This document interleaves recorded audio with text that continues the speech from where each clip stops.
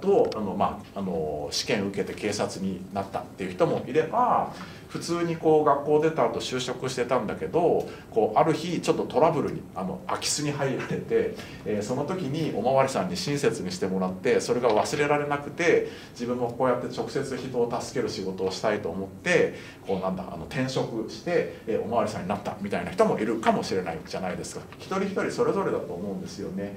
じゃあ自分は今資料で読んだ仕事に、まあ、ついてるわけですけどどんなことを考えながら仕事してるのかなみたいなことを自由に想像してほしいなっていうふうに思います。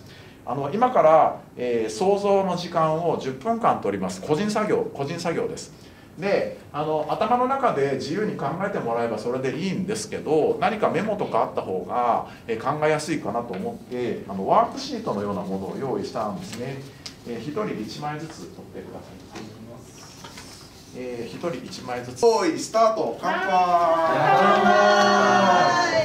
いやそれがさ、ドトールで私たちね、そう僕のところだドトールで面白い人に会ったんだよね。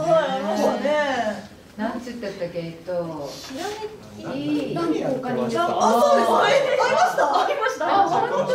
え、どんな人だった？なんか結構桜方で、一緒に今度あの事務所でタイムキーパーかもらう代わりに仕事させよっていう保存してくれるらしいですよ。言ってました。なんか写真をアルバムで保存っていうのは何のランプですか。一旦箱に入れてしまったらもうかなり似てるんですよ実は。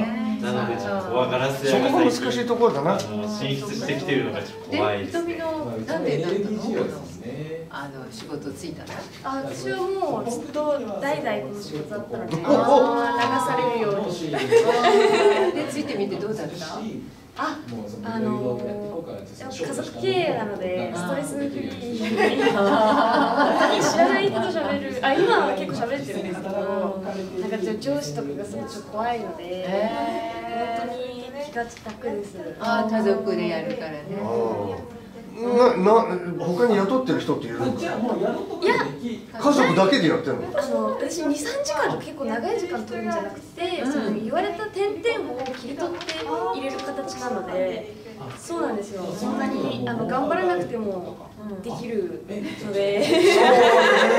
そんなに、うん、じゃあ例えばその3時間ぐらいあった中でその例えば恵子ちゃんがあのプロポーズされた瞬間のあの言葉を保存しといてとか言うわけ。あそうですそうです。細かい注文があるわけ。そうですね書いてもらってそれはこういう感じになります